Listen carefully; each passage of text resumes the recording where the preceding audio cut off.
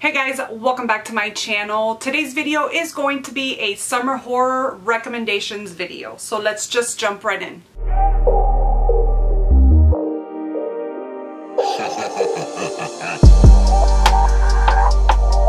so summer is one of my favorite seasons in the year. It's just my favorite. It's when I feel my best.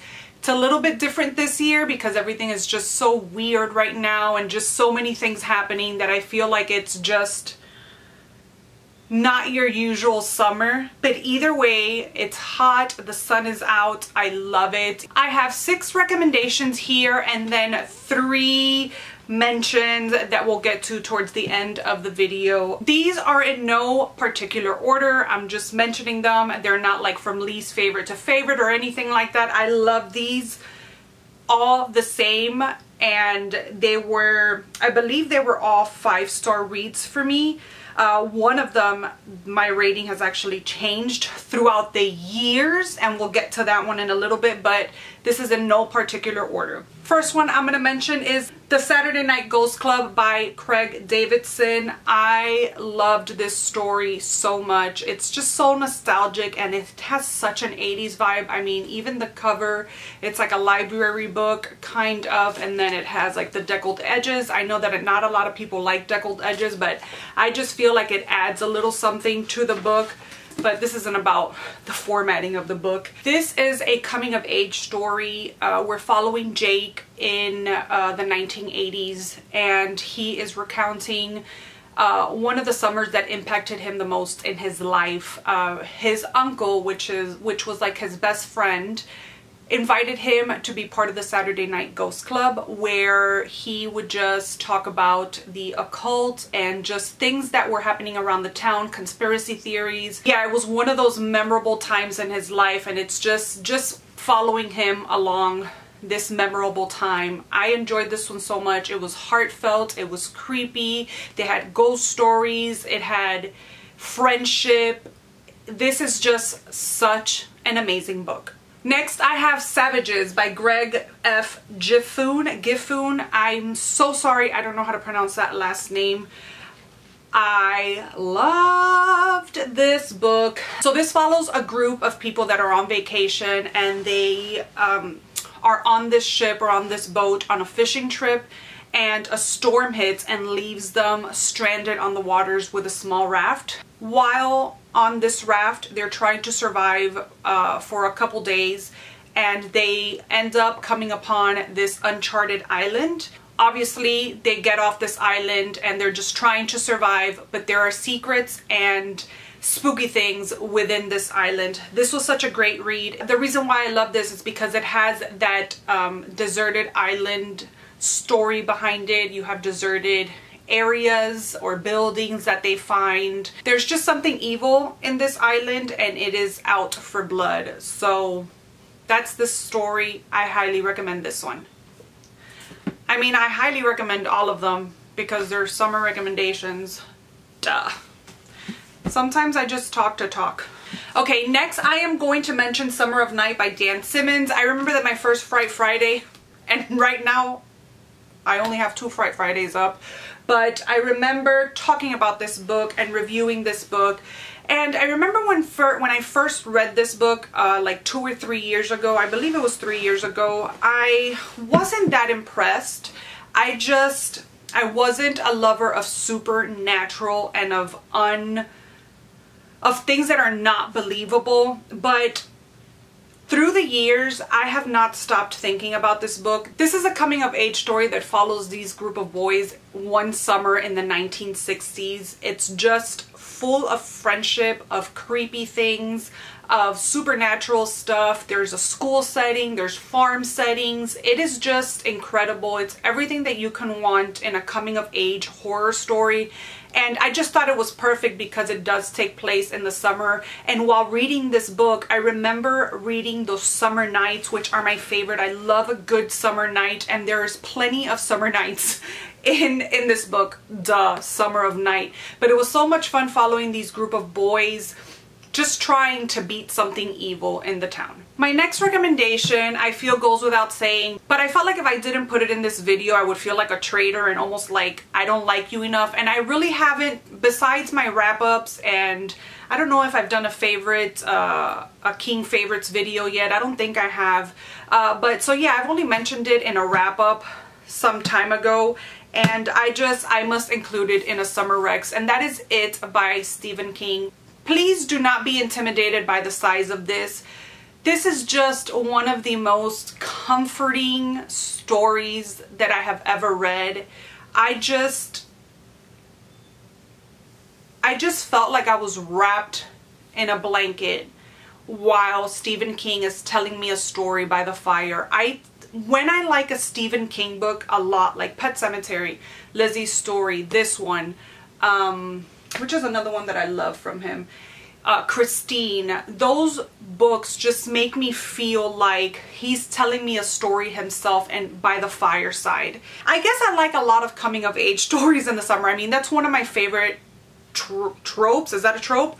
Is coming of age stories. I just find them so wonderful. And horror and kids to me, it's just such a wonderful combination because I feel like kids just, even teenagers, uh, they just don't fear things or they go after that fear. They're more head on with their fear fears and I just love that about the books. You guys know what this is about. Coming of age story, group of kids that are like outcast almost. They're like the nerds or just the the the ones that aren't very popular in high school, they get together and they're trying to defeat this evil entity that's killing kids in the town of Derry. And it's just so wonderful. There's so many layers to it. It's messed up. I, I cried so hard with this book. I can't even explain to you how hard I cried. I love this edition that I have back here of it. It's one of my favorites. That's why I have it on display but this story is just so wonderful and if you have a chance to listen to it on audiobook I feel like the way to go with this one is on audiobook because it's such a big book it almost feels like you're listening to a movie so it makes it go by quicker. So what I did was I was actually moving in the middle of packing and stuff when I read this book. And I tried to do a vlog reading it but because I was moving and stuff I just I didn't pick up the camera enough. And it just made it go by so much quicker. And because I was doing so much like packing and cleaning and all that stuff because I was doing that I was able to listen to it in in good amounts of chunks. So that's what I would advise to you. If you're an audiobook listener and you're the type that listens to audiobooks while you're doing chores that's the way to go with this. I enjoyed it so much. I want to reread this. I actually want to reread all of these but mostly this one because it's just such a classic and such a good story. Next up we have the Southern Book Club's Guide to Slaying Vampires. I read this a couple months ago and fell in love with it. Here we're following a group of housewives. They are in a book club where they read about true crime and darker stories. And Patricia, which is our main character, comes across this man that's new to the neighborhood. He seems to be the nephew, I believe, or some sort of relation to a neighbor of hers. And dark things start happening within their town and across the town. So she's on a mission to find out what it is. Nobody wants to believe uh, the stories that she's saying. This is just phenomenal. It's full of um, small town gossip or like neighborhood gossip. It's full of the 80s or 90s, more 90s uh, nostalgia, which I truly enjoyed. Grady Hendrix is known for his pop culture references in his books, and I just, I loved that about it. I was a Denarian in the 90s, so I remember those very vividly. They were in my development stages of becoming a teen and being a teen, so that really hit close to my heart, and I loved it because of that. Um, and then just all the friendship and family politics that there is. It was just fantastic. If you haven't read it, please do so. There's vampires. There's just amazingness in this book. And the last one, but definitely not the least, we have Devil's Creek by Todd Keisling. I do have a Fright Fridays all dedicated to this book. I will link it up in the cards. If you haven't read this, please, what are you doing?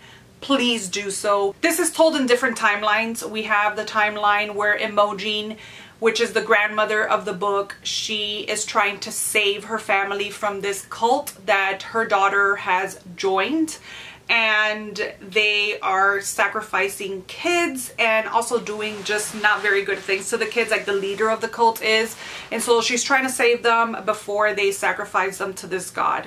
And then we fast forward to the present time and we have Jack which is Imogen's grandson and the struggles that he faces being one of the survivors of this cult and having to go back to this town and set things straight while this dark evil thing is being unleashed upon the town. It was so fun. Uh, one of my favorite characters this year has to be Imogen, how badass she is, how she just tries to really save her family and even beyond the grave is trying to save her family. This was a wild ride. It was dark. It was creepy. It was just everything that you would want in a horror book. And then these next three books that I want to mention are books that I have not read yet, but I am hoping to get to before this summer is over. The first book is Night Shoot by David Sodergren, and I actually have two of his books as a recommendation in this video. Again, I can't recommend these because uh, they're good. I'm just recommending them because they have that summer feel to them or I would feel like it's the perfect summer book. So that's why I'm recommending them, not necessarily because I know how they are, but I am also recommending them because a lot of people that I trust in the horror community have talked had have praised these books so that is also why I am throwing them in here because I trust their opinion and they gave rave reviews about this one. So Night Shoot is one of them. This deals with a manor and a group of filmmakers that break into this manor and there are things in this manor that these that this group of people unlock and everything goes from there.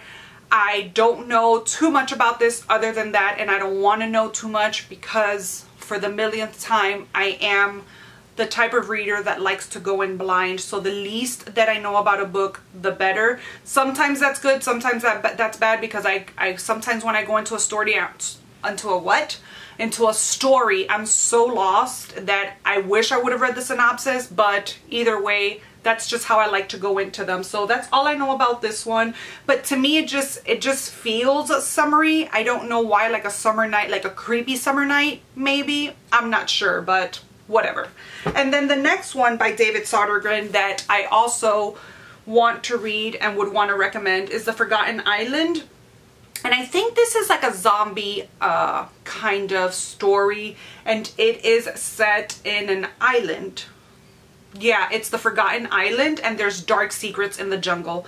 So I this is I, I want to read this one prior to the other one because I mean I've wanted to for a long time and I was actually in a, a group reading group or a buddy read group for the night shoot and I never read it because I'm the worst like that but these two definitely are on the list for summer horror.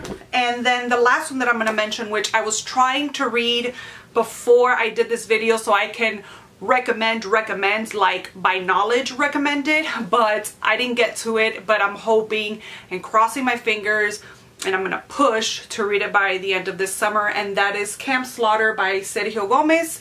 And this is said to be a slasher kind of novel so I'm getting because of Camp Slaughter I'm getting like 80s camp slasher kind of story so I wanted to recommend this one. Now, prior to this video going up, we are going to have the announcement video for the Horror in 24 and I wanted to point out a couple of prompts that you can use these books towards. Uh, not all prompts, but these are just some that might make it, that can make it to your TBR for some of these prompts. So for red on the cover, almost all of these can be used mean, you have Saturday Night Ghost Club, you have The Fire, you have these two with have red on the cover, Camp Slaughter and The Forgotten Island. You have Savages. I feel like the majority of the horror books have some sort of red. This edition, and I believe the majority of the editions, except the Hodder, uh, have red on the covers of it. And then Devil's Creek has this red sky on it. Then we have Haunted House and Ghost Story. Obviously you could use Saturday Night Ghost Club Saturday Night Ghost Club for that prompt and I think that's the only one that I have so far for that one. Then we have supernatural creatures and I'm telling you that almost all of these books can be used for supernatural creatures. Devil's Creek, hello. The devil. Is he a supernatural creature? You decide. Savages can be used as supernatural creature because there is no werewolf, vampire, or zombie in this, but there is a supernatural element to this, so you can use this one. Also, Summer of Night is full of supernatural. We have worms and things like that that are supernatural.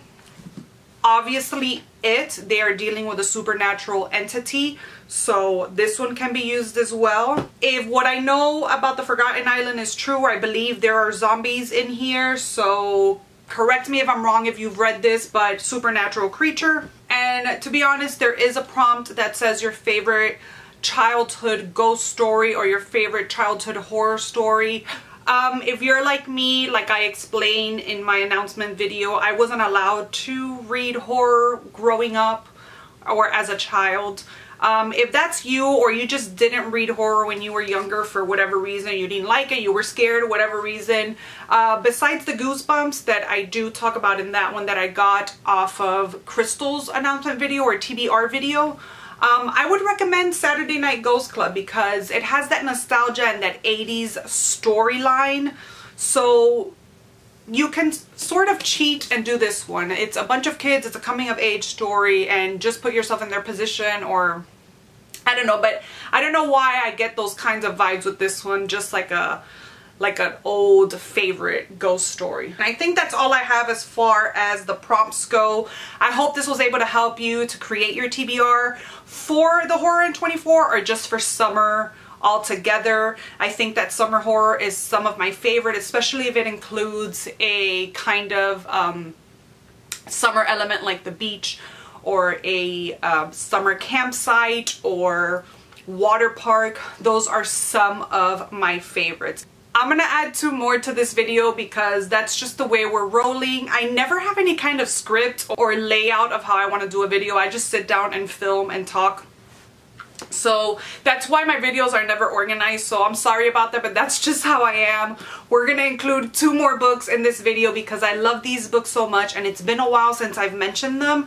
I think the last time I mentioned them was last summer because these are super summery books. I mean you can read them whenever just like any of these books but these do have an element and when I said water park just now it made me think of these and that's Kill River 1, 2, 1, 2 and then 3 I have on my TBR cart and I didn't want to crawl over there. Just know these are great summer reads. They are set in a water park. We actually begin Kill River at a summer camp and then it deviates towards the water park of Evilmas. So these are great. They're some of my favorite if you wanted to add it to your summer TBR. So yeah, that's it you guys. I hope you guys enjoyed this video. Thank you so, so much for watching and I will see you guys in my next video. Bye!